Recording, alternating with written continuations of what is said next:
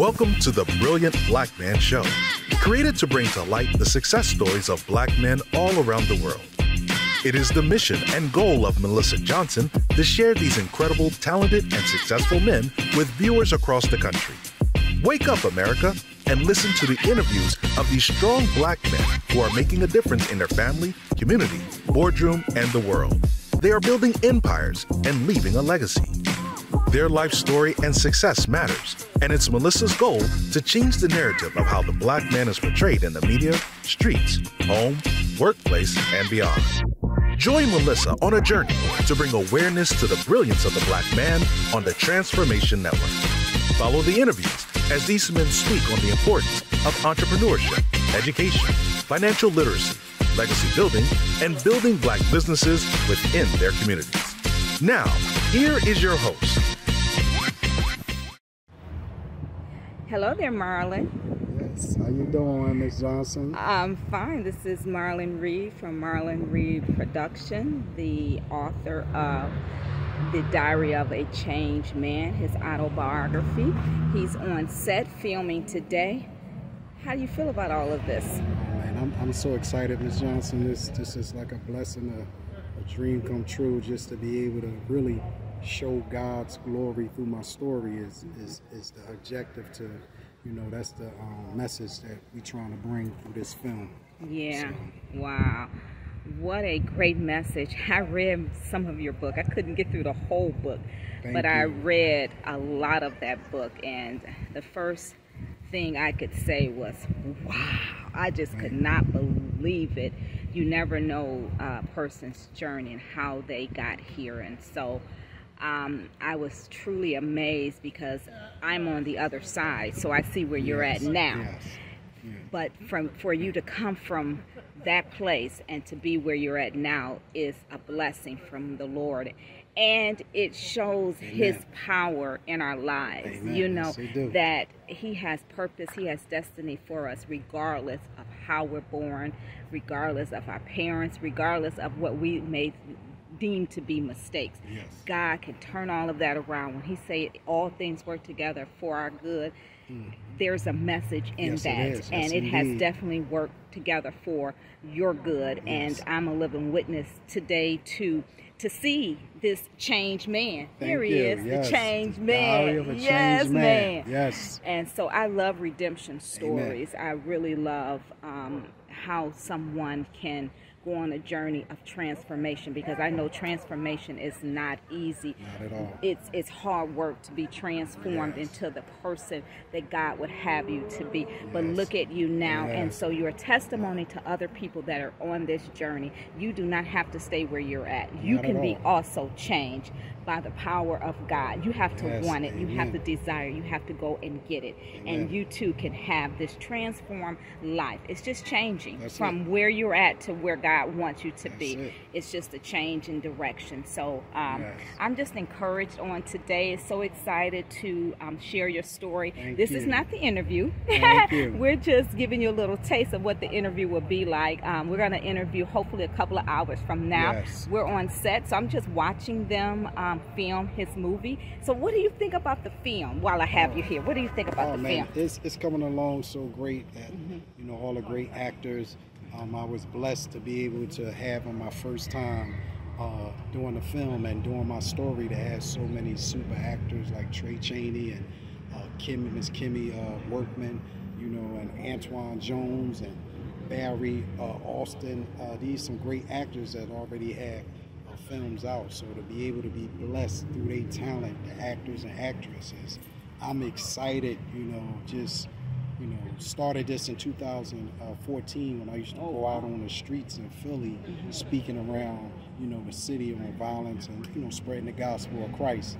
And um, I used to always get asked about a book, so it started in 2014 with the, just the thought, and then here we is 2017. The book came out, The Diary of a Changed Man. And here it is 2022. We we, we We're filming the, the, the film, the short film, which is a two-part film. And uh, I- I'm blessed. I'm blessed, Miss Johnson. Wow. God is wow. God is God. When when we say God is amazing, Uh, you know, you're looking at me, you're looking at Miss Johnson, and everybody else that God touched and blessed. You know, it's it's real. It's Yeah. real. The, the power of prayer, you know, the belief system, you know, ministry is real. Please It's believe that. Yeah. Thank you. And it's just so many stories that I can get from your story, if I could say it that way. Mm. So many practical applications, I'll say it that way, that you can take away from your story. Yes. And um, the one that I like to take away is, again, the redemption part. I think about how you were born. I think Mm-hmm. about, I mean, I just, when I read it, I was Rest in just. peace to my mother. Yes, I was love it. just like, wow. And, you know, I just, sometimes we just don't understand the decisions that our parents have to make, why they did what they did. Yes. Um, but what we have to do is we have to be at a place where we can forgive in order for us to move forward. Thank God you were able to forgive Yes. what had happened to you Yes. because you had no um, choice in the matter. Yes. This is just how it it happened to you. Thank God you had the ability. God gave you the ability to be able to forgive, and then from there to get healing. Yes. Um, when when devastating um, um, things happen in your life, come in your life, trauma come in your life. Sometimes you need to seek out help. Yes. you got to seek out help, professional help sometimes, Yes. and sometimes more than just professional help in order to move forward. So um, that's one of the applications that I pull from that seeking help, not being comfortable with where you were at, not being comfortable with that life of crime, the life of the streets, the life of drugs and violence, and to see that there was something greater in you. Yes, God And- saw it. Yes. He's seen the future, and you know, a lot of times we miss out on the tools that God give us because it's in the form of our needs instead of our wants, and so mm-hmm. we lose out on a blessing. I lost out on a blessing many times because it's already written with God. So God already seen this. I didn't see this 17 years ago mm-hmm. when I was out there in the streets. I didn't, but God seen it, and it's like, yo, if you don't take these tools Right. that I'm giving you, you know, you're not going to make it to the blessing. That's I right. I can't keep saving you. You know what I mean? You gotta I- I- save yourself I can, now. but you gotta do some work. That's or right. else, you know, you're gonna perish from the flesh here, man. You know what I mean? Right. The wrong way. You know what I mean? Not making right with yourself or God. So, and I understand my mother. I had went through her same journey. You know, God. I was so you know angry at her that God took me through her journey to understand the lifestyle that she lived, and I lived the same life. I just got a chance to live past 28. She didn't. Right. You know, so God took me through that same phase for as though the drug life and thought I had a, a, a child at 16 and I did all the same same story I Mm. went through and, and didn't understand it then until now to Wow. 2005 when I got saved you know surrendered to God Wow. and, and look it's a blessing but Yes, it is, and there's it is, and there's stories, there's applications in all of what you said, and um, I just think, yeah, God knows all things. He knows the beginning and the end. When He created you, He knew the purpose, your purpose. However, we have Amen. choices because we free will agents. We have choices, and sometimes we don't make the right choice. But thank God for second chances. Thank God for Oh, giving us and allowing us the, ch- the, the opportunity to have a grace self and yeah, second chance to make better choices and then come back around and do what he has called us to do. So I thank you. Hi, this is Melissa Johnson of Wow Ministries with the Brilliant Black Show, the Brilliant Black Man Show, on today with my special guest, Marlon Reid. Hello, Mr. Reid. Yes, how you doing, Miss Johnson? I'm excellent. Welcome to the show. Oh, This is our part two of the wonderful interview with this great, I would say, book writer, now film producer. yes, thank you. Who knows what, what is to come? Yes, I would like to welcome Mr. Marlon Reid to the Brilliant Black Man Show.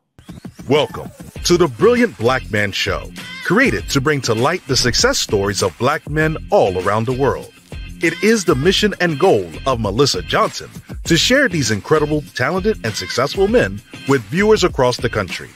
Wake up, America, and listen to the interviews of these strong black men who are making a difference in their family, community, boardroom, and the world. They are building empires and leaving a legacy.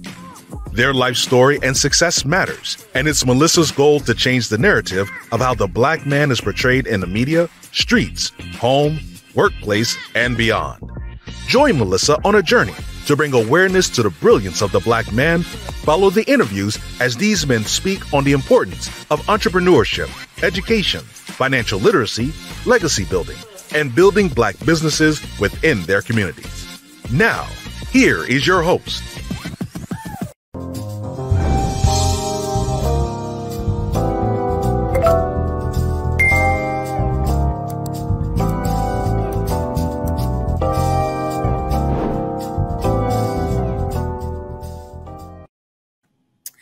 welcome back to the Brilliant Black Man Show. This is Melissa Johnson, your host of Wow Ministries. And my guest today is none other than Mr. Marlon Reid from Marlon Reid Production. Welcome again to the show.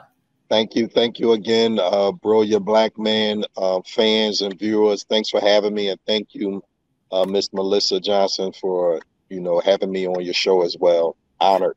Well, it's my pleasure. It's my pleasure to bring um, your story, your success um, to the world. So I am just so excited about um, the interview on today. We started this interview a couple of weeks ago on set at the Diary of a Changed Man. It yes. was actually filming um, and so we started it. We did something a little different. Um, we were on set there, and um, it was a blessing to meet the producer of the show, some of the actors that was portraying um, some of the characters that's in the book of the diary of a changed man, as well yeah. as to see Mr. Marlon Reid in action yes, yes. behind the camera. So yes. it was a privilege for me to get some of that footage. So this particular show is just a little different from my other shows. Um, after this tapes, we're going to send this all to my production team and we're going to put everything together all of the footage from the um, first interview, all of the all of the scenes and all of that we took um, and filmed when we were on set, awesome. as well as this interview. And it's going to encompass the whole um, interview for Mr. Marlon Reid. And you will be able awesome. to view that on several platforms. Um, one will be um, my YouTube channel, the Brilliant Black Man YouTube channel. Please click subscribe, like also on my website, wowministriesllc.com, wowministriesllc.com, and also on the Transformation Network, Transformation Network, Melissa Walker Johnson being the talk show host there, and also on Facebook and oh. also on Instagram. So we're gonna have it everywhere. And then wherever podcasts go, we're going, we're going there. So it's going to actually view in over 164 outlets. It's going everywhere. And so we pray that someone will be encouraged, uplifted by your story, by your Amen. success. So let's get started. Are you ready, Mr. Reid? Oh, I'm ready. I'm ready to show God glory through my story. All right. Amen. All right. Let's get started. We're going to talk a little bit about the beginning of who this man is, Marlon Reid. Let's talk about um, the beginning. We know that you are currently um, a husband, you're currently a father, um, yeah. You're currently a man of God. You hold so many different roles. I would like to go back and see how this brilliant man was cultivated. Um, your story starts out a li- little different than most stories, um, but it's it's amazing as you look at the different men and i'm going biblical on you i'm sorry the different men in i'm no i'm not sorry the different men in the bible um, that god used a lot of them or most of them didn't have the best you know story in the beginning i mean they were not perfect men well we know no yes. one perfect but their story um, was not a common story he used um, he used people that had, can I say, um, not so good history. He used he used um ordinary yeah. he used ordinary people that had issues. Yeah. Ordinary people yeah. that may not have was born the with the silver spoon in their mouth or what may not have had the advantages of other people. Um yeah. He didn't use necessarily successful people. He no. ordinary ordinary people and they yeah. became extraordinary. He used ordinary Amen. people and they became extraordinary and they did just amazing things to build up the kingdom of God. And when I think about the men in the um, biblical stories, I think about you and how you were born and and how you conceived and then how you came into this world um, it was a little different. But how yeah. God, at the end of the story, because we know the end of the story, how God used all of that to create this wonderful man um, that yes. you are today, this man of God that is spreading um, this word all around through his life experiences. And yes. that is a testimony to itself that you don't have to stay where you're at.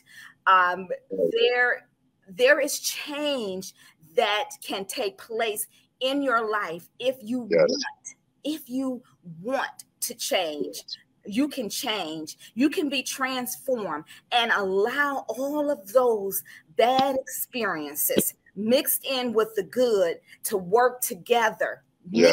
mixed in together yes for your good. And yeah. so sometimes the story may not be good. I'm sure at times you wondered, why me? Why is this my yeah. story? Yes. As you sit here now and you can think at this mature state that you're in now, you can say, well, it all worked together for my good. It may not have been good. That journey may not have been good, but some somehow God was able to take all of my experiences and work them together for my good, for his glory, that I can reach more people with my story because I am able to touch them maybe where some may not be able to touch them. Okay, so I'm talking too much now. Let's start at the beginning, Marlon, um, with how you were conceived and what happened after that. And um, you don't have to give us every detail, just the most important parts that you would like to share. Marlon Reid. Okay. Uh, thanks once again to the Brilliant Black Man Show for having me on, and thank you once again, Miss Melissa Johnson, um, to be able to, you know, tell God's story, uh, be able to tell my story and show God's glory. Um, it all started with me being conceived. My mother slept with her um sister.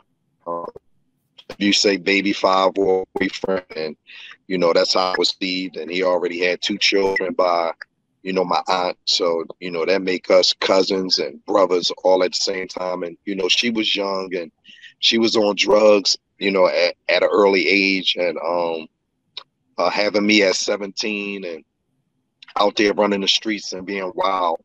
So she gave me to my grandparents, and you know they took me on and and, and raised me, and um, but it always was a constant battle with her and them, um, because she's still saying I was her son, so she can you know come and take me whenever she want to. So that was like a always constant battle with her and my grandmother, you know, um, arguing, fighting back and forth, not physical fighting, but far as though like uh, arguing, you know, back and forth, and it, it it used to like bother me real bad because my grandmother say bad things about you know my mother, and my mother say bad things about her, and you know, five years later she had another son, and um, you know, she wound up keeping him, and I used to wonder why you didn't keep me, and you know, and um, just jealousy, and um, you know, I felt I felt alone and you know, just out of out of out of the ordinary, man. And um, it was just one thing after another, you know, happening in my life. And uh, to speed it up, you know, uh, around 11 years old, my mother passed away from um, HIV. and uh, excuse me, I got a chance to see her. You know, the hospital was fighting back then in '87 not to let me in because I think back then you had to be 14. I was 11, but they let me up to see her for a few minutes, and you know, later on that that night she passed away. So I was just like really struck, and um, um I was really struck, and then you know, at her funeral, the man that I always looked at as my uncle you know, he stepped up and told me he was my father. And, you know, I wonder why my grandmother used to always cuss him out and tell him he's no good. And I'm like, that's my uncle. He don't have to do nothing for me. You know, you know, he got to do stuff for his children. And then, you know, um, that really devastated me. And, and, and I went, I went home after he told me that I went back to my room and I start talking to God, asking him, what did an 11 year old do to to to him what 11 year old do to god for god to allow all these things one thing after another you know happen to me you know from time i was born up to 11 and uh even being born as a, a you know a drug baby and having complications and you know just all these things being ran over by a car at the age of seven i believe and um just other things that I'm I, I didn't put in there. And and when God didn't answer back, that's when I went and turned into the streets. And uh, okay, so we're gonna stop there before you go to that point. Okay, yeah. so um, so you're around 11 years old when your mom passed away. Um, prior to that, you were raised by your grandparents, um, your grandmother and your grandfather. Yes. Um, what impact did that period of time have in your life? Was it a time um, that you felt secure, or were you still searching because you knew that these were your grandparents and that your mother was out there, but she wasn't actively in your life? And did you know at that point of her lifestyle, and could you understand what was actually going on at the tender age of 11? Um, answer the last question. Um, I didn't get to understand her lifestyle until I walked her shoes. Okay. I wound up walking the same lifestyle, but I felt secure because my grandparents, oh man, you know, you know, let them rest in peace, man. You know, they they did everything, you know, as a parent, you know, put instill morals in me. Um, everything that I I know how to do today is because of what they installed in me. Um, and I always told them like when I walked out them doors, that was me making a decision every day walking out them doors. So they did their job. So I was secure. And, and I didn't know what my mother was doing because my grandmother was bold with it. She didn't hide it. So and um by so watching Okay, but, let me ask you this, Marlon, and I'm sorry I made because I know we only have a limited time with you. So sorry for the interruption. Um, as a child, did you have, or as your mother's child, did your mom have any more children? Do you do you have any siblings by your mom and your father, your biological father? Uh, yes, my biological father. Um, he had he had two more kids, two more. By um, your mom, with your mom? No, no, no, no. With my aunt, he all together he got four children by my aunt, and then he got two more other children by his current wife. So that's so six. so your mom only had one child with your father. Yes, but okay. she also she also had another child which is under me. It's five years um under me, and okay. um, you know, she used to be around him more. And I was like, Lord, jealous, you know, because I love my mother. And uh, she used to only come see me like once a year. Oh you know what I mean? And then when she come, it'd be for a few minutes or just to come get some sleep or rest.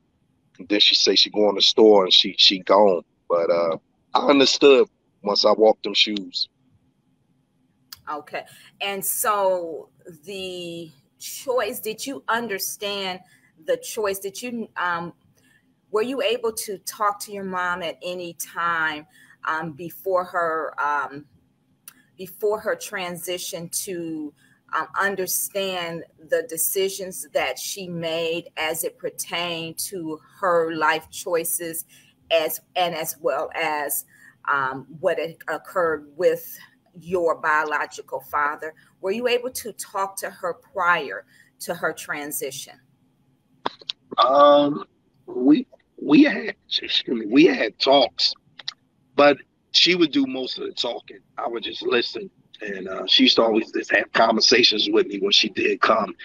And she always used to tell me, you know, once you get older, you'll understand this conversation. You don't understand it now. But once you get older, you'll understand, you know, God willing, you get old enough, you you'll understand the conversation. So she always talked to me, but I never really got a chance to ask her anything about her decisions or her lifestyle. I, I never got a chance to ask her. Okay, so let's move forward um, past um, that period of time. And so um, she transitioned out of your out of this world at a yeah. young age. I believe she was 28. Is that correct? Correct. Correct. At very young age, and so um, so much had happened to her in the in 28 years, and so um, she transitioned out of here, but she left a legacy in you. And yeah. so your life um, went um, in a different direction. Um, and so now we are at um, the age of 13. Now we can look at you at the age of 13. I can only imagine from the age of 11 to the age of 13 the turmoil of a young man trying to understand um, his identity, trying to understand um, who he belongs to and why all of this occurred. My mom is gone. The person I thought was my father is not my father. My uncle is actually my father. and how did this all happen? And I can understand the turmoil that's going on inside of you. Although you may be in a safe environment physically, yeah. in your mind, your mind was not safe. It's not, it was not at peace. And I could see your mind just um, just roaming, trying to trying to understand and trying to comprehend what has occurred in your life at such a young age. So now we get to the age of 13 and. Something um, turns in your mind at the age of 13. Um, so for the first time, 13 at the tender age of 13, um, you get arrested. Tell us a little bit about that. Um, well, within within them two years, um, I was really, really angry. You know, a little bit at my mother. I was a little angry at her because, you know, I wanted to know, like, you know, out of all the men in the world, you know, why him? Mm-hmm. Um, and I couldn't answer that, but I was happy to be, you know, alive and, and born. So by then, like I just turned to the streets. I didn't have to sell drugs because my grandparents, they you know they took care of us. You know, by then my little brother was living with us um, mm-hmm. That my mother had. So, you know, they made sure we we we we we had you know the clothes and everything that we needed. You know, not the maybe not the the top fashion, but we had clean clothes. You know, clean shirt, clean pants. Wouldn't go out the house with nothing dirty you know, um, if they had to hand wash it. So me getting into the streets was just being fascinated by. And the streets were where? I'm sorry, I don't think we quite told the viewers exactly where you were raised. This occurred where? On, in North Philadelphia, in in in, in um, Philadelphia, but North Philly. North Philly, okay. Yes. Okay. Um, so I did it because uh, when I start hanging out, you know, with with the guys on the streets, um, I just gotta I just wanted to do it. I just wanted to try it, you know. Um, uh, I just wanted to see what it was like because I seen like these guys, um, you know, selling drugs. looked at fun, you know, it was, you know, that side of the game. It looked at fun. Do you think that it was curiosity or did you have a longing to um, be mischievous or did you have a longing to connect or did you feel that in your mind somehow I want to experience, ex, you know, what my mom went through. I mean, I know you were young, but uh-huh. can you can you um, recall in your mind what was going on? Can you? Because I know that happened at a very young age, so I don't yeah. know if you can recall those memories. Yeah. But are you able to recall those memories of what was going on in your head that would make you choose to step outside of your home and into that lifestyle?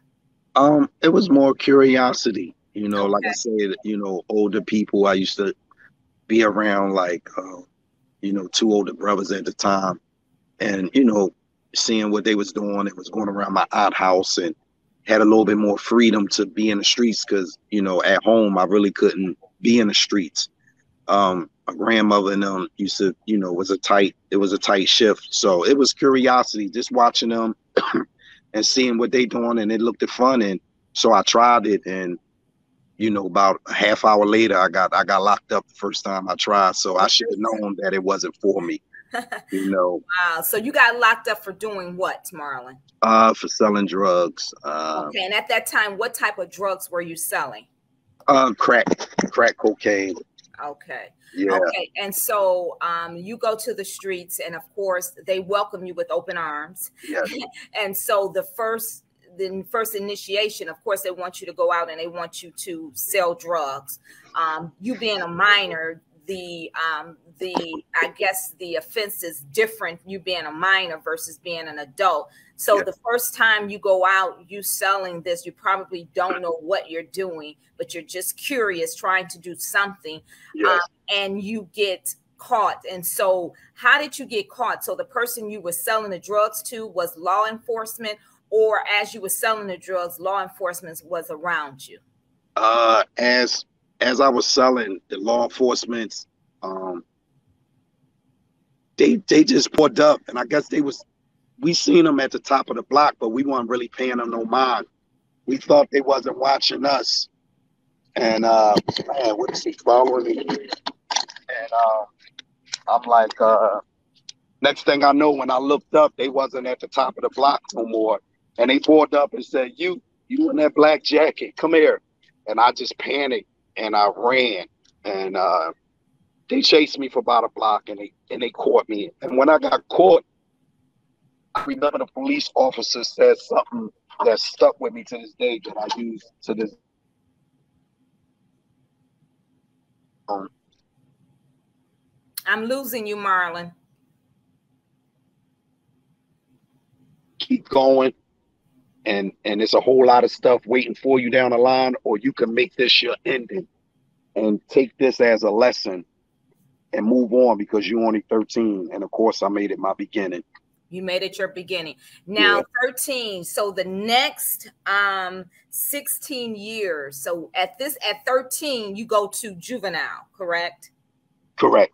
Okay so you're in and out of the system for the next 16 years you're in and out of the system. So right. there's a difference from 13 to 18. So when you get to become 18, now you've been in and out of juvenile, you've been in and out of the system.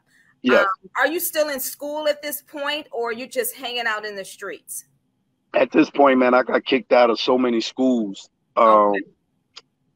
I think I think I was I was 18 and uh, when I got kicked out of my last school, I think 11th grade, and um, uh, I was on probation, and my grandfather talked me into like, oh no, they gonna they gonna let you off because I was just about to turn. It was like two months before my birthday, um, to turn 18. So they like, oh, we gonna let you off probation officer. Oh, we gonna let you off. The judge gonna let you off early. You, you turning grown, you're adult. They're gonna let you go. So I'm like, all right, I go to court next thing you know, my grandfather get up there and say, Your Honor, can you please lock him up? You know, you know, he he getting in trouble. You know, we need him, you know, to go away. So I wound up going away, you know, to this um, place called Glen Mills. At the time, it, it was it's it's really like a campus. You know, you really can turn your life around there. But so it's a second chance place. yeah, where they see a future and they're yeah. trying to give you a second chance yeah. at life. And so you went to this institution. Did this change your life? No, because I just went there to did the did the one year and came home when I was 19. I didn't. I mean, I did. Of course, I did. You know, my schooling and all that just so I can get out. Um, but I didn't take it as I should have took it. You know, the potential that it, it has so many, it helps so many people today that I know. You know. So at that point in time, you still your heart um, had not been um, to the point where you wanted to change. You wanted um, a better life. You still wanted to um, run the streets, and you still thought that was you was. We can use the word you used earlier. You were still curious about the streets, and I believe when we were talking before in one of our interviews, you you said that it it was so easy for you when you got arrested and when you got locked up to make it through that system so you didn't have any apprehension or you didn't have any fear of being locked up again and what will happen to you because you knew you could work the system. Is that correct? Correct. Uh, first time i got locked up uh, it was a place called the youth study center um, here in philadelphia for, for, for juveniles. And uh, i used to hear stories. But uh, when i went there excuse me, excuse me the first time I got locked up at 13, I went there for a few days and it wasn't bad as I thought it was. Uh, I made it through them few days. Uh, and once I made it through them few days, I was like, oh, I can, you know, I can do this. You know, not saying I wanted to go back there, but it was more so like, this ain't what, you know, the stories I heard. You know what I mean? So right, so you know, right, that, right. that would make me not be fear of selling drugs anymore. Because if I get caught and, and go back there, you know, I wasn't I wasn't you know afraid of the stories that was told to me about the place. So now you're in prison, no longer in juvenile. Now you're in actual prison now, and so did the selling drugs escalate to you taking drugs? Um, of course, because I love the party. And uh, when I came home from the juvenile place at 19, um, of course, I got back into the, drug game. And, you know, I love partying. I love drinking. I love smoking weed. And I love going to the bars and the after hours. So um, that led to my demise of uh, one night, you know, I'm hanging out and we at the bar and I'm chilling with, you know, a couple people. And um, we go to this after and we go to the bar and you know this girl she pull out you know some powder. And I'm like you know if it ain't if it ain't she offered to I'm like no I'm cool. You know I don't do that. But then later on again you know we drinking and partying and all that. And then she offered I'm like man I'm looking at her I'm like ain't nothing wrong with her. So ain't nothing gonna be wrong with me. And you know I tried it and you know that was like really the downfall of of, of like snorting the powder. And um later on that night I um I wound up leaving them and I wanted some more powder, but I didn't have powder. I had like crack in my pocket. So for me being around, you know, uh, addicts that get high and being selling out out of the, you know, the crack house, I see the I see the stuff that they do. So I just, you know, always had weed on me. So I just smashed the bag and and and was like just like powder, you know what I mean? And I just put it in my weed at night and you know, start leasing. And that was like really, you know, that was really, you know, the downfall right then. Okay. And so at the age of 19. At the age, wow, tender age of 19. Yes. So now you find yourself on the same road that your mom was on.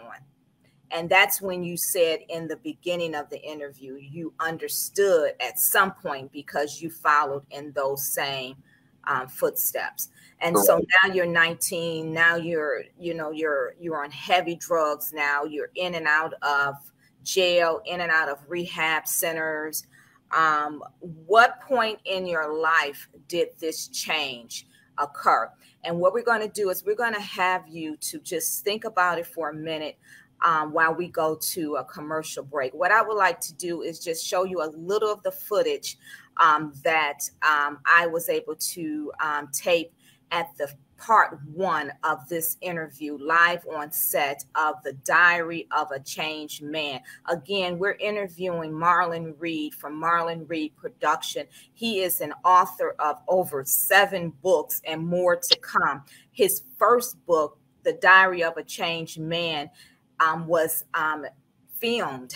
It was filmed um, the last two weeks, and it's going to be a movie um, on his life. And I believe that this movie will, I pray, change the lives um, of other young men that may be finding themselves in this same um, the same predicament and don't know what to do and that they can find um, hope as Marlon eventually found hope.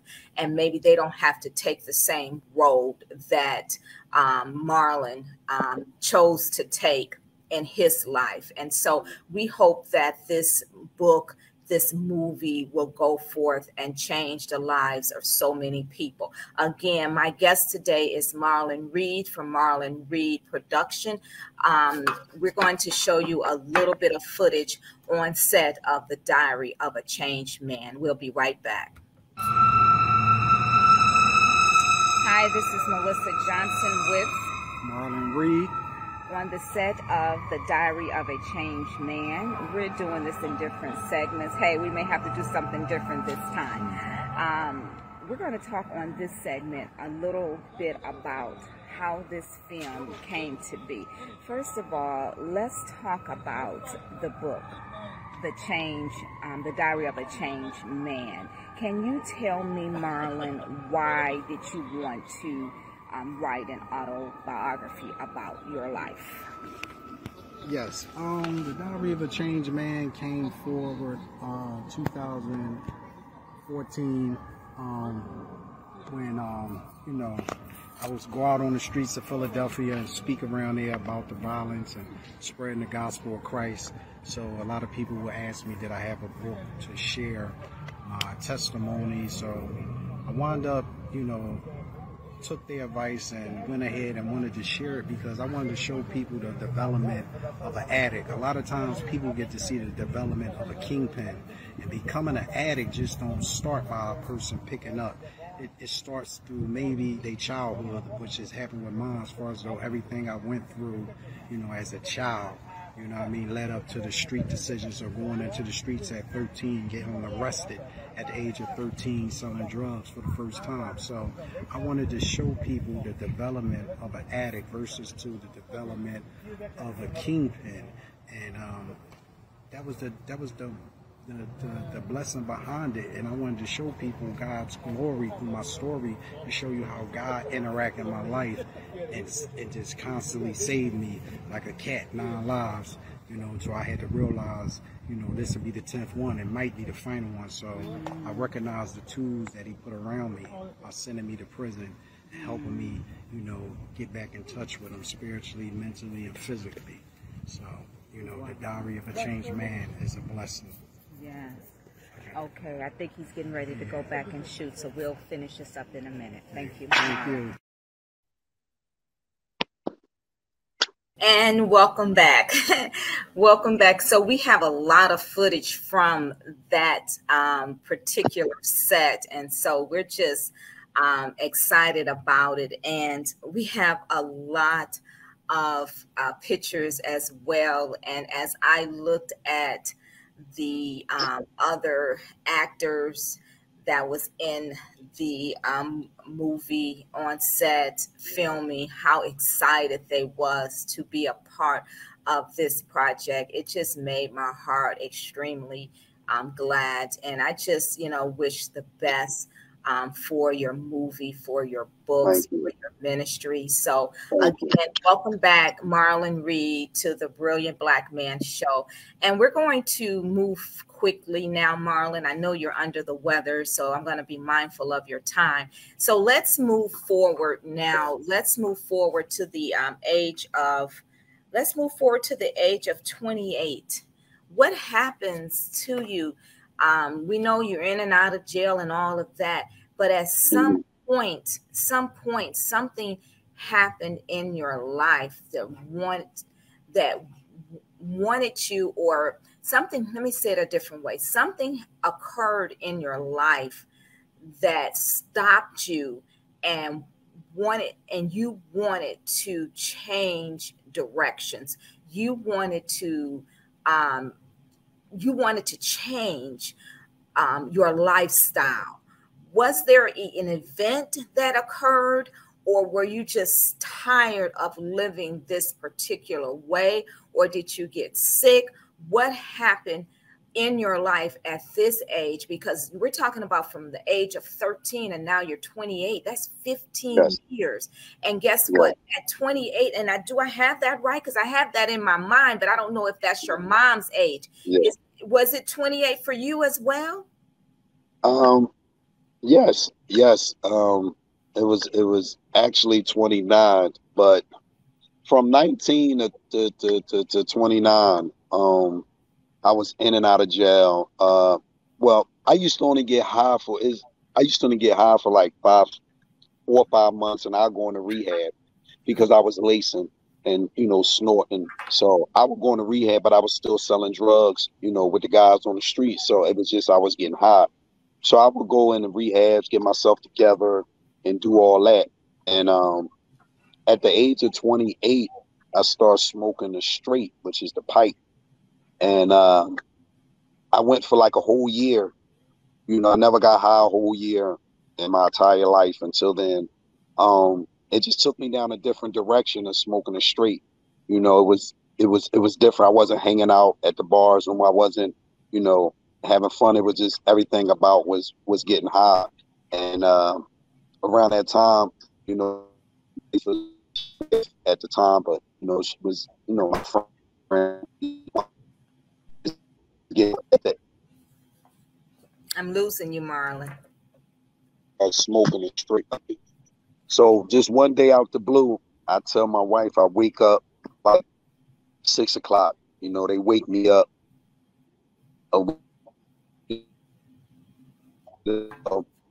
My wife. We're gonna take a break. And um Marlon, we're going to take a break. We, we keep getting a lot of interference. We're going to take a, a quick break. Welcome to the Brilliant Black Man Show, created to bring to light the success stories of black men all around the world. It is the mission and goal of Melissa Johnson to share these incredible, talented, and successful men with viewers across the country. Wake up, America, and listen to the interviews of these strong black men who are making a difference in their family, community, boardroom, and the world. They are building empires and leaving a legacy. Their life story and success matters, and it's Melissa's goal to change the narrative of how the black man is portrayed in the media, streets, home, workplace, and beyond. Join Melissa on a journey to bring awareness to the brilliance of the black man, follow the interviews as these men speak on the importance of entrepreneurship, education, financial literacy, legacy building, and building black businesses within their communities. Now, here is your host,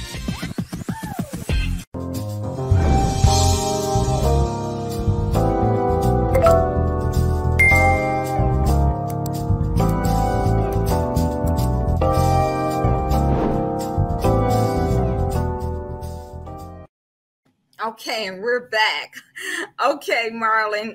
Okay, so we are back again. And so we're going to again try to resume this conversation. And so one year of just straight drugs. And so now we're at 28 this is an amazing time because this was the same time that your mother transitioned from this from this lifestyle yeah. as well and so i'm i'm sure that was in the back of your head as well so what occurred in your life that made you want to change um like i say uh at the age of 28 i i, I took it to another level and started smoking um the pipe and uh it took me down a different path from snorting coke or drinking or lacing it, you know, the crack with my weed.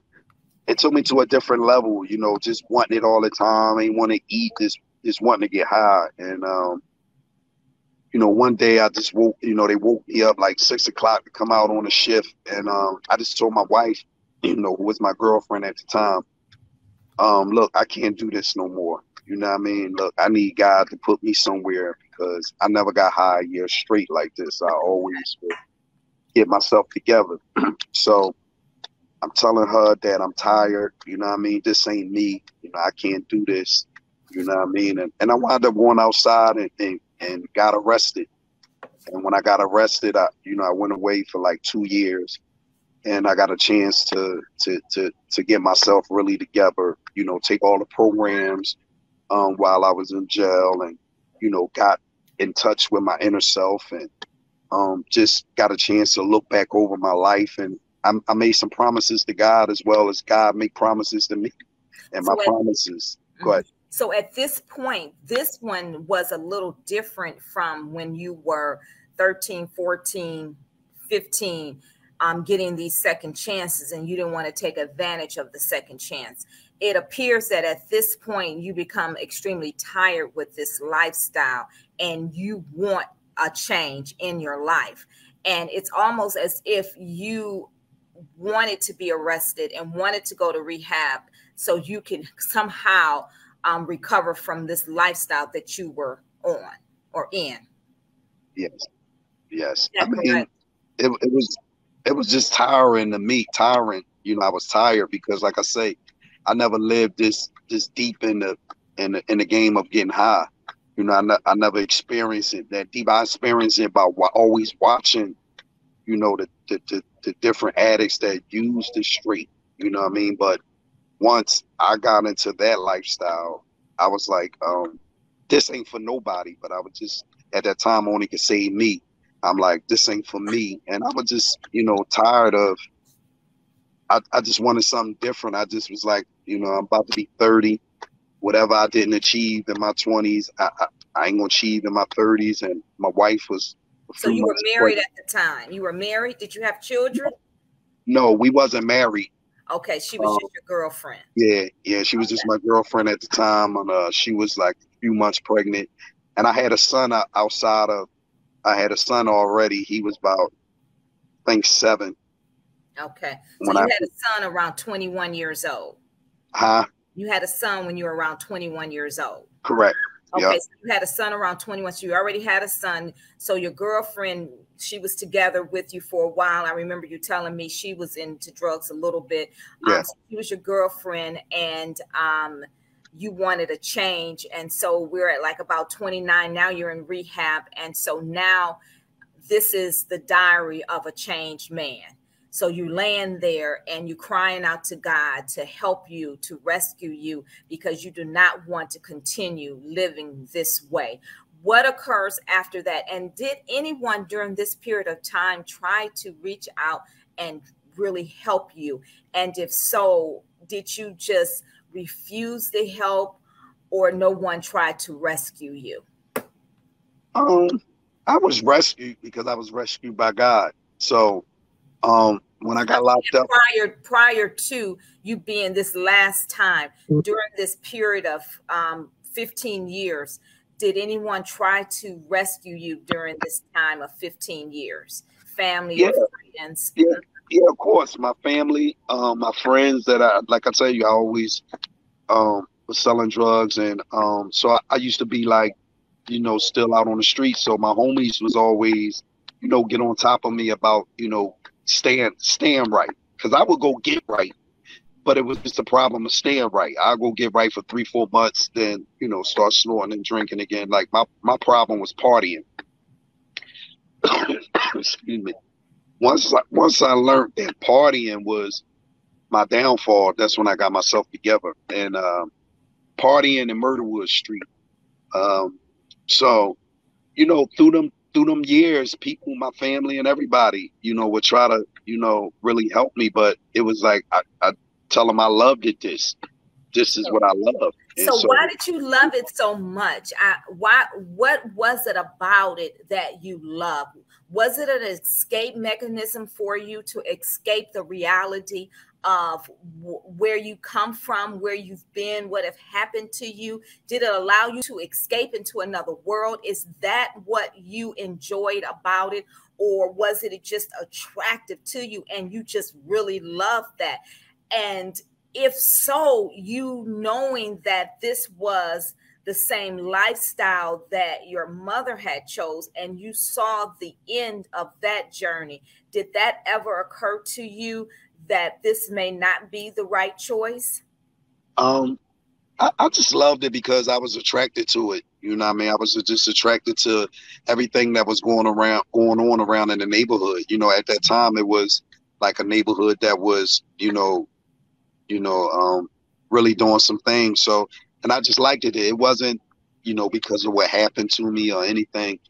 That was in the beginning, you know, when when I first went out to the streets because of, of that. But far as though, you know, being a grown man, I was like past all that. It was just, you know, I'm, I'm I was just attracted to it, and um, okay. it was just fun. At the beginning, it was fun until it turned into addiction. Until it turned into an addiction, right? Once it turned into addiction, that's when, you know, I started really seeing a different side. You know what I mean? Uh, and then, like I say, once I started smoking a straight, it was really just a, a straight addiction.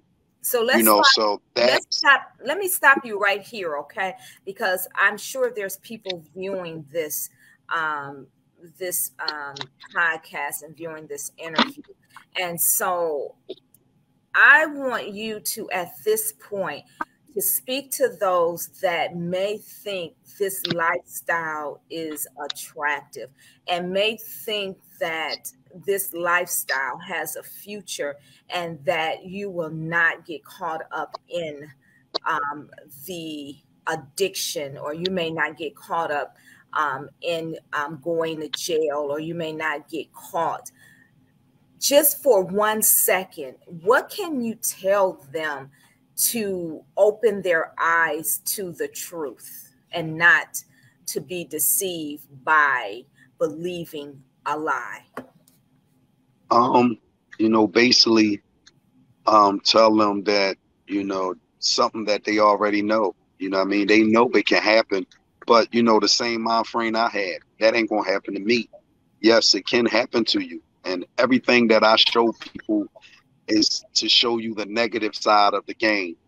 This is the negative side. The same people that you selling to, they used to be you. You know what I mean? They just got caught up because of the party and because of the lifestyle. And it can happen to you. You know what I mean? So, you know, you can get locked up, you can be killed. I was successful enough not to be, you know, killed in, in the game. I was shot, you know, and but God have something greater for me. But right come on, man, this perception of the culture, don't let them think that none of this stuff can happen to you, man. You got to get out of that mindset. So we stuck in a mindset of, I live for today and not for tomorrow. Now, what if you wake up tomorrow? You understand what I'm saying? You got to be prepared for that. Stop saying you living for the day. You need the fast money. You know, we living in a time where jobs is paying, you know, um, more than what they used to pay back in the day. So get out that lifestyle, man. We losing our it's this black on black crime. It's just excuse me. It's just a negative time, man. This is not the lifestyle. Stop letting the culture brainwash you. Stop letting the music brainwash you and think this is the lifestyle because it's not the lifestyle. At the end of the tunnel, even in all the movies, to show you that they either get locked up, they That's go right. to jail, they get turned out on their own supply, right. or an innocent person like one of these children caught the straight bullet. You know what I mean? This is real. The reason why they could write this stuff because it really happened really to someone for them to write this stuff. So come on, young people, and even the old people that's in this thing, and to all my people that's trapped in my old lifestyle, man. If you're looking at me and you see God did it for me, God definitely will do it for you, man. Don't yeah. don't never think you can't. And and real quick, I use this for everybody. When Paul was Saul, he was running around cutting people head off that was following Jesus, killing kids, and then he went blind and Jesus, you know, gave him some instructions and he followed them instruction and he became Paul and became one of Jesus' greatest followers. So what I'm saying, what I mean by saying that, don't ever think you can't be forgiven because you ain't do what Saul did. And Saul was forgiven into Paul. You know what I mean? So you could be forgiven. Don't don't run around here. Oh, I done did so much. I can't be forgiven. You be forgiven. Go read that story on who Paul was before he was Paul. Right, right, right. um, and that's what I like about transformation. You know, you don't have to remain the same. You, you can know. transformed into the person that you were really created to be. Yes you don't have to go down this road of destruction. Not at all. There is a there is a different road, and this road is a narrow road, but this road yes. leads to eternal life.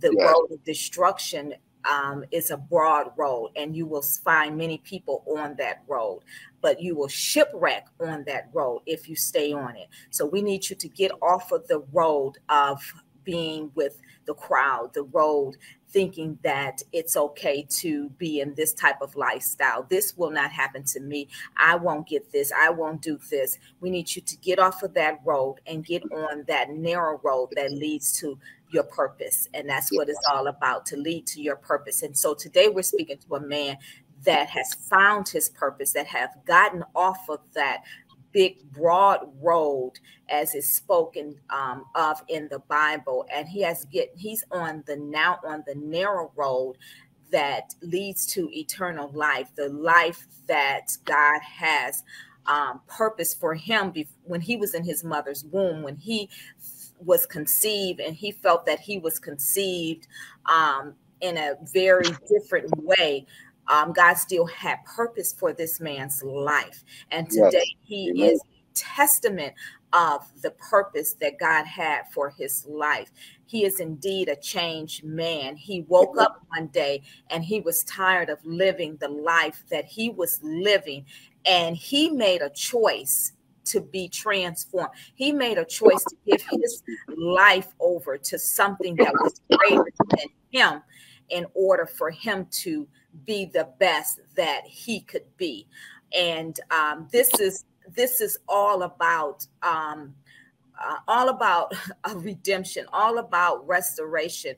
It's all it's all about you know it's all about salvation. And I, I, mean, I just like your story, and I just I just I I mean I wouldn't I wouldn't pray that this happens to our young black men and young black girls. I would not pray that this would happen to them.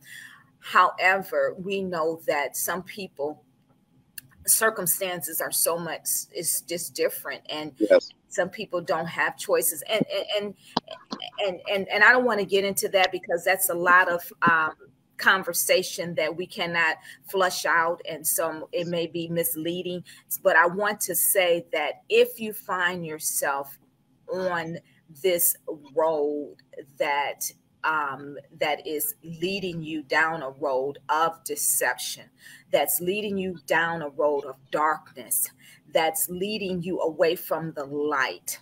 Yes. Get off of that road and change directions change direction. Now, Marlon Reid has changed directions and he's no longer the same man. He's still Marlon Reid, but his direction has changed. His purpose has been developed into um, a man on a mission. can I say that, Marlon? the man the man on a mission. How did this book, um, how was it picked up by Kazar? And shouts out to Kazar Entertainment. I was able to meet him. How was this project picked up by Kazar Entertainment? And then how did you get some of the best of the best actors and actress, actresses to um, shoot to appear in your film? Um, I met I met Kazar through uh, just networking. Like I tell all the authors, we got a network, you know. So I I use Facebook as my biggest promotion and marketing.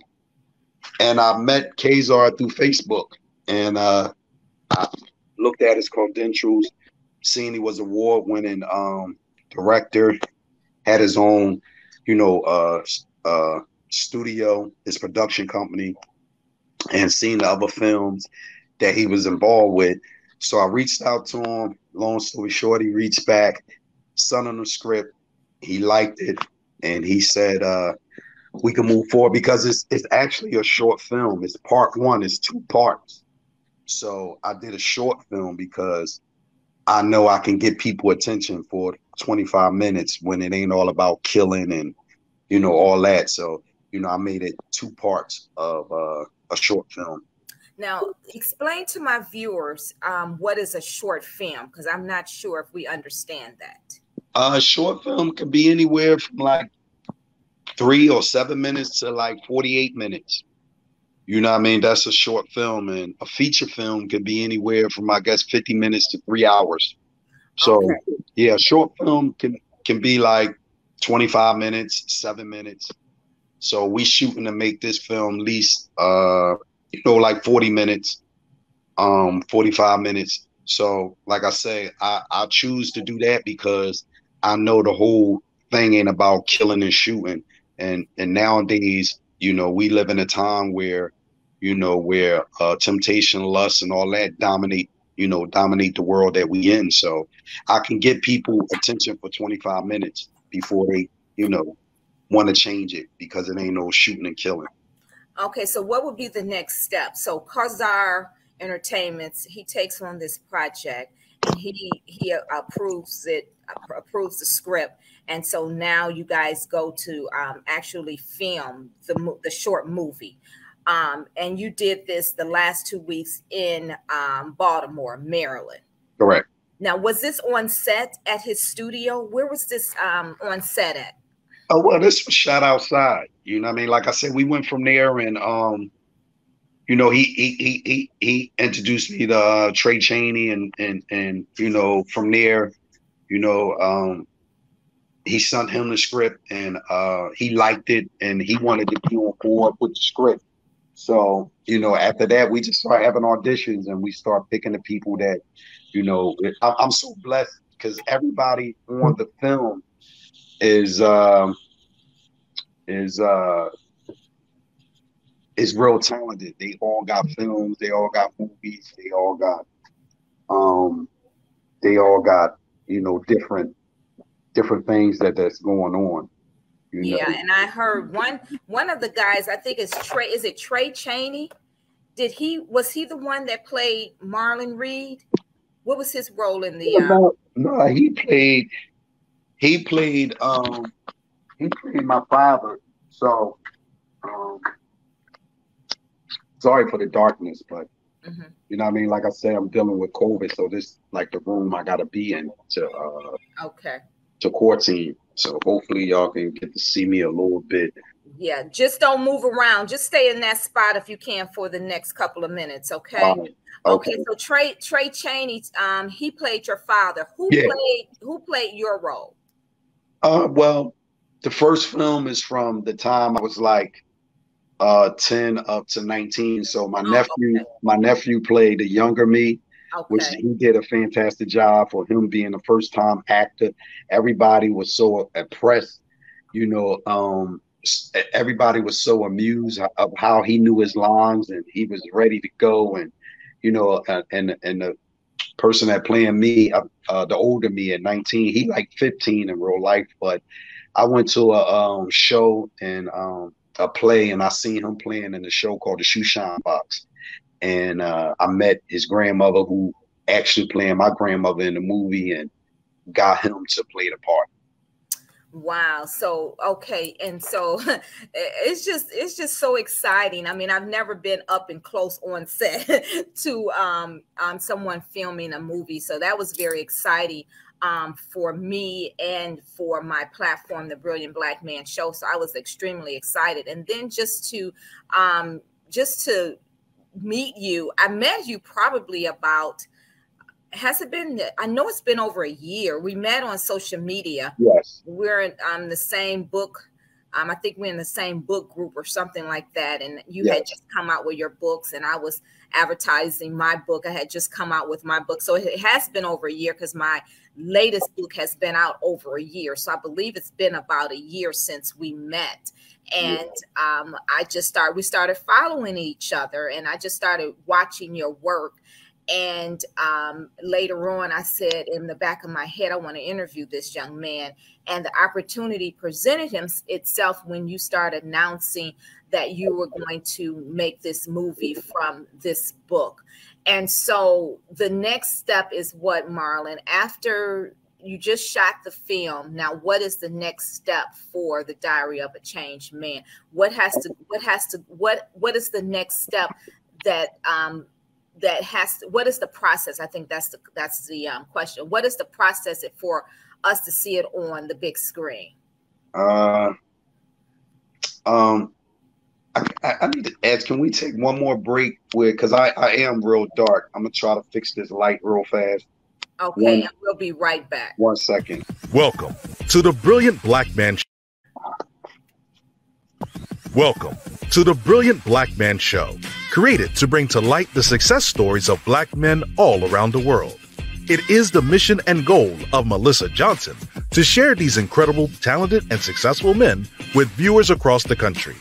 Wake up, America, and listen to the interviews of these strong black men who are making a difference in their family, community, boardroom, and the world.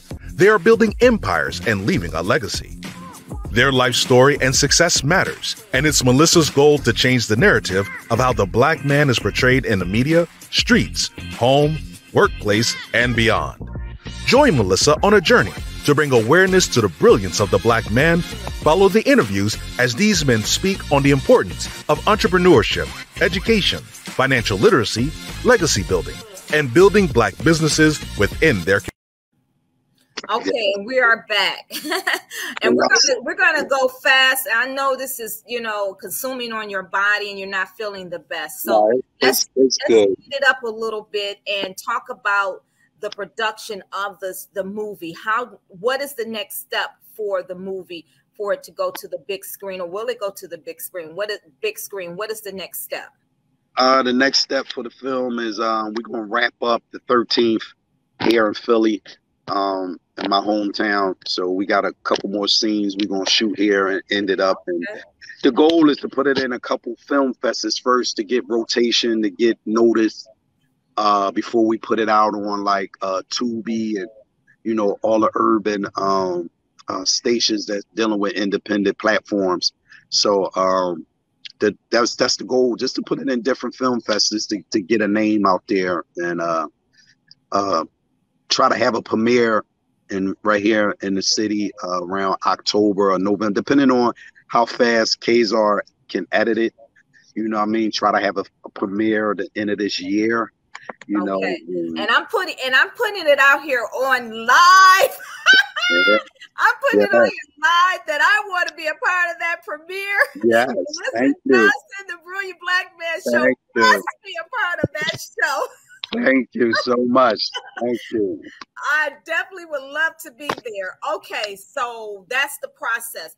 So yeah. let's let's talk about and I'm just so proud of you. My heart is just overwhelmed. Oh, thank you so um, much. I'm just I'm just I think it's the work that has been done in your life. I met you personally.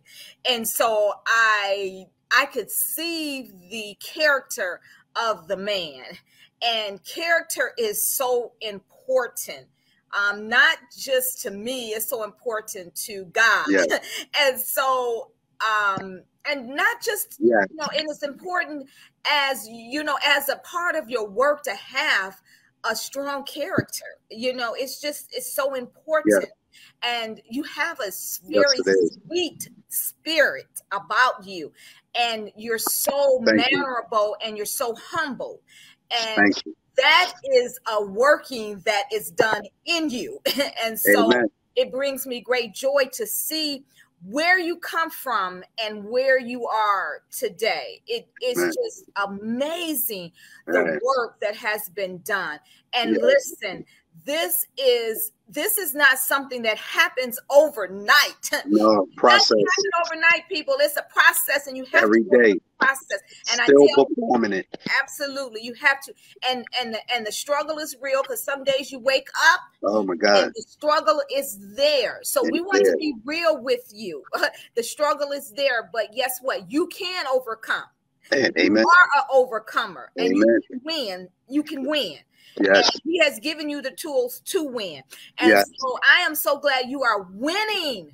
Amen. I'm glad you are winning and that Amen. your life has taken a different direction and Amen. that you are producing this these books to help um to win souls. That's right. that's what it's all about. Winning right. souls. It's about it's about living the abundant life that you don't have to remain the same, guys. It's Amen. about living the abundant life. And I'm just so godly proud of you, uh, Marlon. Amen. And so, what we're going to change now because we talked a lot about your upbringing. We talked a lot a bit of a lot about um the journey we talked a lot a bit about the um the book um let me just let me just hold it up this is the book the diary of Amen. That's the book, man. I read a lot of it. It was so riveting. I could barely put it down. It Thank was just, a good read. I mean, Thank it's you. a fantastic, um, well written book, Marlon. It really mm-hmm. is. It is just so interesting. Amen. And I could barely put it down. And I said, My God, my God, what you have done to this man. And so I am so proud about Amen. the book and about the movie. And I know the movie is going to be just as great as the book. Yes. My question to you as we um as we end this conversation today, what inspires the man to continue to write? Where does the drive come from? I know for me, I'm a driven person. We're both book writers. Yes. I write books. Different things inspire me. I mean, I have this internal drive that's driven by purpose, that's, you know, driven by um, who I am in Christ. And so um, tell me with in your words. Yes. what what drives the man, Marlon Reid? What drives you, Marlon? Um, really, really like just the issues.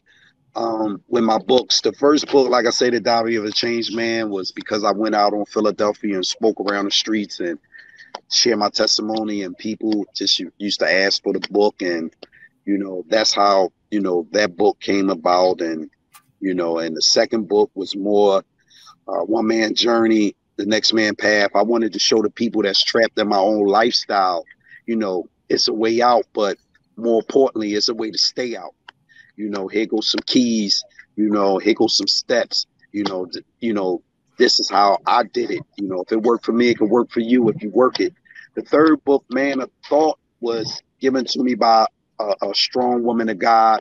She had challenged me to to to to, to you know, she always used to say, "Man of thought, man of thought." That's your next book. So that you know, uh, con- uh, the concepts of me of writing that third book was was more of her giving me that challenge, and uh, by then I wanted to say I wanted to be an author. I said if I got three books, I'm an author now, and that's what happened. And the fourth book was really that what was going on with um, you know, in 2020, everything that was going on from uh, George Floyd, um, yeah, yeah. Auburn, and um, uh, uh, say her name. Um, uh, I can't think of it right now. Yes, all that was going on in the same year. That just me and the black on black crime. Yeah, that made me right. Living in a country influenced by hate. Right. And, so uh, it, you're influenced. So it's, it, it, it seems to me that you're saying your influence, the drive comes from what is happening around you um, in, in your environment. Okay. Correct. That's the drive for your book. And so, um, how do you, as a man with that past, because I know that um, having addictions, um, although you may not be addicted to the drugs, um, is there still the thirst for it? And if so, how do you um, not go back into that lifestyle? How do you how do you not um, I don't know the words I'm trying to say, but how do you stay healthy? Let's say it like that. How do you stay healthy and not go back? I mean, I get asked this question all the time for me, even even through my wife, you know, has asked me how, you know, um, for me, once God removes something, it's it's removed. You know, it's up to you, you know, to to if, if you if you decide to go back to whatever God removed, that's because that's what you wanted. And that's something I don't want. And I know once God removed it, you know, everything that's in front of me, I know God supply your needs. So that's what keep me from not going backwards. That's what keep me from not drinking because I also was a, a, alcoholic just as well as I was a, a addict. You know, so I don't smoke cigarettes because smoking cigarettes, I used to lace my crack with cigarettes. You know what I mean? So everything worked together. And when God removed it, it's done. It's done. I'm at peace sitting on my couch watching TV or sitting in my room watching TV because this is what God allowed me to do. I party for 16 years. So whatever I ain't getting them 16 years, it don't it don't drive me no more. You know what I mean? And that's not for everybody. I know people that got off drugs and they still like my wife, she still go out and you know, she have fun at the bar with her girlfriends and all that. You know, some people do that. But for me, I don't even give it a chance. That's just me. I don't. People say it's that deep with cigarettes. Yeah, because I used to lace with cigarettes, so it's that deep. I'm not saying if I smoke a cigarette that will happen, but I'm not even giving it the opportunity. If you don't plant the seed, the seed can't grow. Seed can't grow, right? You know what I mean? So when God removes, but it only takes it only takes one it only takes one drink, and yeah. then you know it could lead to something because else that's because something you wanted. Now, if if you stop because God removed it, then it's a done deal. You understand what I'm saying? It's a difference from you stopping on your own and you asking God to remove it. That's how I'm looking at it you know for me and everyone's and, and i would like to say that everyone's journey is different yeah. okay? because there are there are cases where he can just take the taste away from you and there are cases that that it doesn't happen that way and you have to you have to stay in a safe environment for yourself. You there's certain things that you can't go around certain places you cannot go because it's a it's a temptation for you. So you have to know that. Right. You know what? For me i believe i believe if god remove it. It's done. You know what i mean? Um, i get into them battles with people but I let people have their own choice. That's for me because I'm like, man, I was in it strong. And I'm like, if, if God removed it, it's it's removed. You know what I mean? I believe if we relapse, I believe that's because that was something we want. Not because people, places, and things. Because I'm around people, places, and things all the time because I got to go back and show God's glory. Mm-hmm. You know, you understand what I'm saying? If I stay away from people, places, and things, now I'm being selfish. Oh, I might get high. No, I got to show you what God done, my man. You know what I mean? Look, me and you used to run the streets together. Me and you used to sell drugs together. You ain't got to sell drugs no more. Me and you got felonies. You know, I went to state prison, federal prison, county, uh, uh, and, and juvenile, but I still got a good job because I brought things to the table. You understand what I'm saying? So I got to go back and show them drug dealers that you don't need to sell drugs or you can have felonies and you still can do it. You just got to do an extra work. I got to go back and show the people that smoking crack. You ain't got to smoke crack. Look at me. But now, if I don't go around people, places, and things because I'm scared I'm gonna get high, then you know I'm being selfish, and that's not for everybody. I'm talking about. It's not, and, that, and I like right, and it's not for everyone. This is Marlon I'm just, journey. I just, I just feel as though if God remove it because it's God, like we we say that God don't make no mistakes. So it's like if God move, remove it and you go relapse. Like say if I go relapse, that's because I wanted to. Because mm. God removed it out my system. If I go relapse and pick a drink up or a cigarette or whatever I used to do, go out and sell drugs or go out and start hanging in the streets the same way as not being in the streets, you know, talking peace or, or spreading the gospel, then that's because I wanted to. You know what I mean? It had to be some type of want for you, for me. I mean, for me. And we you know? and, and we hope that the people that are viewing this would have that desire not to want to that lifestyle. So as we as we conclude our talk on today, Marlon, um, your motto is strong leadership, accountability, and structure. Um, why are those things important to you in the next minute or so? Why are those so important to you? Because I learned, like, as we live in today, the world, or if I say America, you know, they removed God out of a lot of places. So now we have chaos. And I believe when you ain't got order or structure, that's bring chaos. And that's what we're seeing today. Um, so I learned in my life and then in my journey to to be a leadership in my household first and a leadership to myself, mm-hmm. I had to put some structure. In order to get structured, I had to go by order. And that's what I did. And I took, you know, my last book, Men Do Help Men, that's a little ministry I start that help people. And I wrote you know, and I went under you know, these words, understanding, um, correction, direction, discipline, vision, ministry, and information. I took those seven words and added it to my life. And, you know, that's what keep me structured. And, you know, I wrote a book on it and I believe it can help, you know, you know, man, woman, or child. I believe those seven words can be a process as someone like can manifest as someone yeah. like. Now, um, my last question before we do the takeaways: What, um, how do you rear your children? Um, being, uh, you know, how you were raised. How do you, um, how do you teach and train your children? what do you implement in in their life? What was most important? Because i know we can't go through the whole process of how you raised your kids but what was most important as you raised your ch- children to instill in them? Um the same way my grandparents instilled in me. My grandfather. All this uh whatever it may be I, I show i show my two daughters you know and uh me and my son i really couldn't show him like though living in a household because we didn't live together.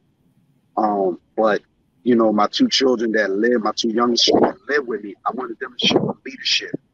And, you know, I wanted them to show show them a father, you know, leadership. So regardless of whatever, you know, maybe the situation, they can always say, you know, my dad, you know, he was a father, you know, he was married.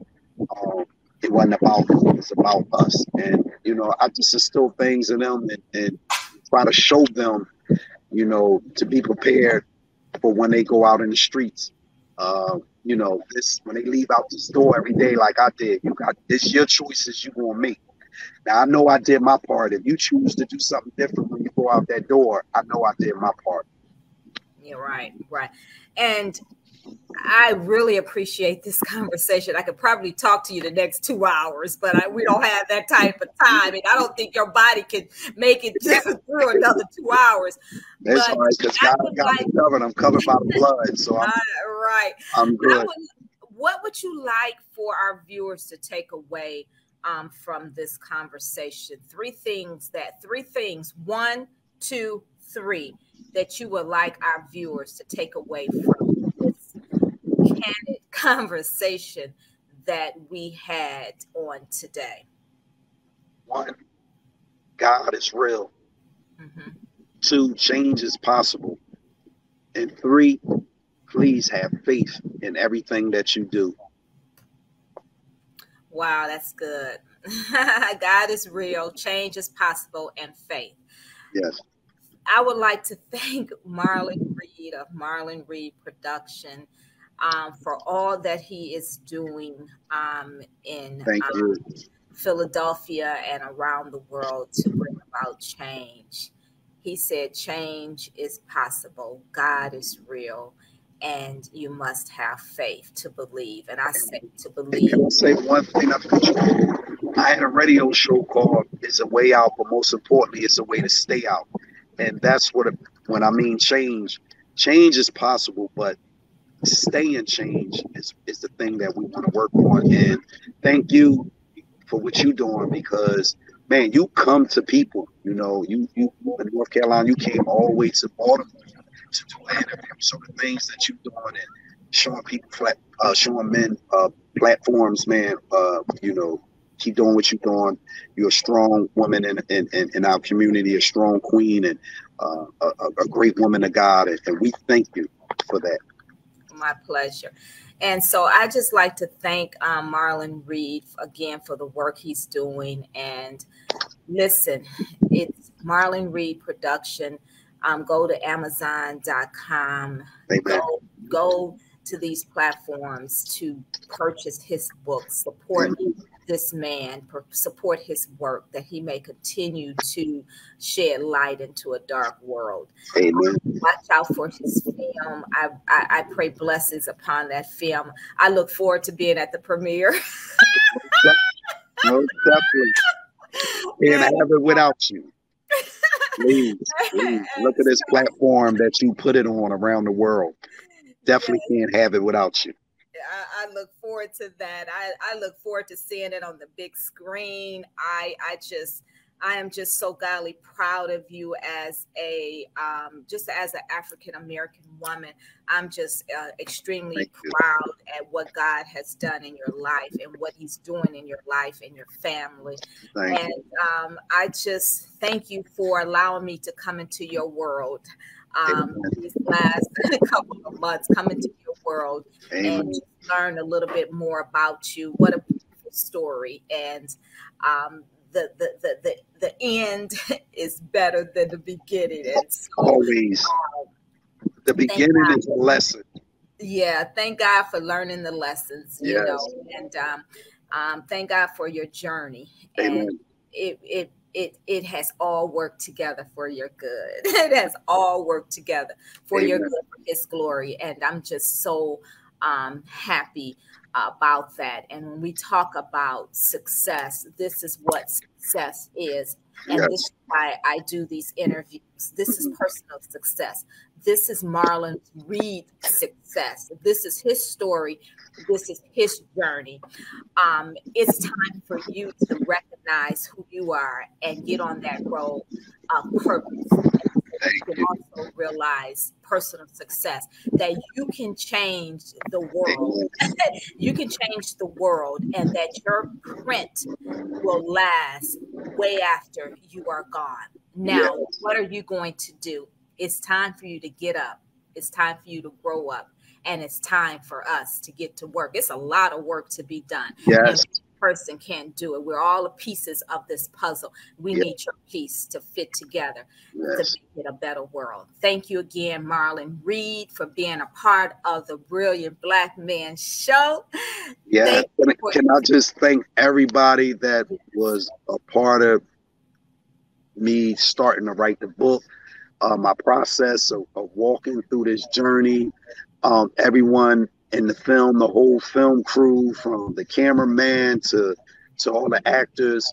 Just thank everyone that had a part of helping me um, just to grow every day. Because I didn't do this I didn't do it right. just for God. Um, it started with God, and God put the tools around me. Absolutely. Yeah, He uses people. All the people. Can't name all y'all. Thank all the people would help me from the books, from the film, uh, ministry, from uh, uh, uh, just being a mentor to me, a leadership. Everyone, thank you to my family, my friends, everyone. Thank you, and thank you, Miss Melissa Johnson. Thank the uh, uh, Brilliant Black Man Show for having me. My pleasure. And this has been Melissa Johnson of Wow Ministries with the Brilliant Black Show. And my guest today was Marlon Reid. And we are signing off. And we hope you have a wow kind of day.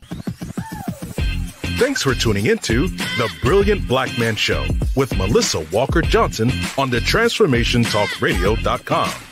For more information and to watch any of the past inspiring interviews of the BBM shows, you can follow the tour at the Brilliant Black Man Show on YouTube or WowMinistriesLLC.com.